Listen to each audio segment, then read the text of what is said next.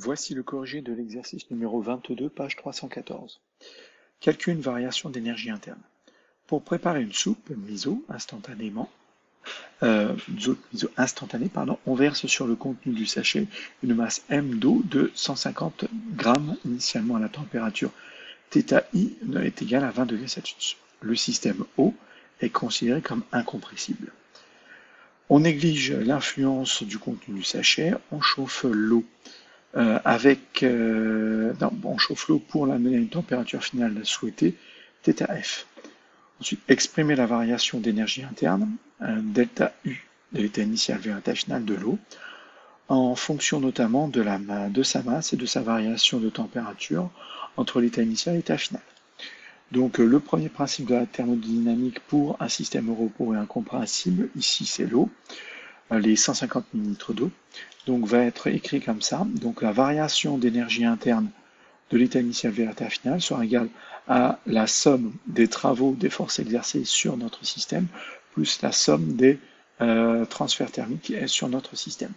Vu que notre système est, euh, au repos, il, il a euh, il, il, euh, est incompressible, pardon, voilà. Vu que notre système est incompressible, le travail, euh, le travail, le transfert par travail ne peut pas se faire.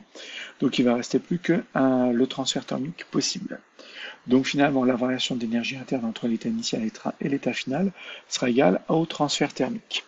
Et ce transfert thermique, il est égal à la masse de notre système fois la capacité thermique massive de l'eau multipliée par la variation de température.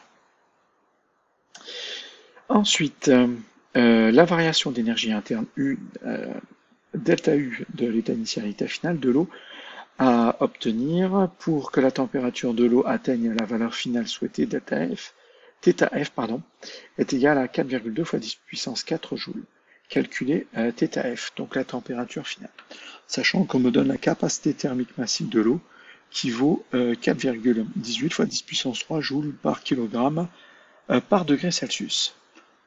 Donc, je vais calculer la température finale θF. je reprends la formule, euh, l'expression donnée dans, la question 1. Donc la variation d'énergie interne U de l'état initial à l'état final serait égale à la masse d'eau euh, multipliée par la capacité calorifique massive de l'eau, euh, euh, multipliée par la variation de température. Donc je remplace simplement variation de température par θf moins θi et je vais isoler θf pour pouvoir calculer θf. Donc si j'envoie la masse et la capacité thermique de l'eau de l'autre côté, j'obtiens delta U sur masse fois capacité thermique et j'ai isolé θf moins θi.